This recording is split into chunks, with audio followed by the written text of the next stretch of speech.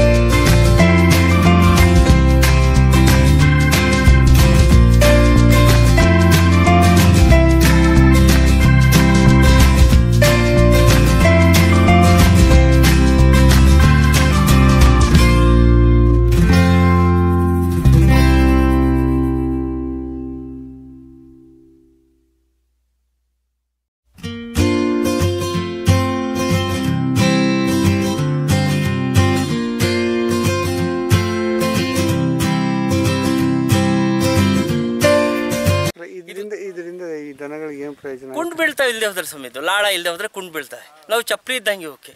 ಚಪ್ಪಲಿ ಇದು ಎಷ್ಟು ದಿವ್ಸಕ್ಕೊಮ್ಮೆ ಇದು ಮೂರು ತಿಂಗಳು ಬರ್ತಾವೆ ಸ್ವಾಮಿ ಅಷ್ಟೇ ಅವರಿಗೆ.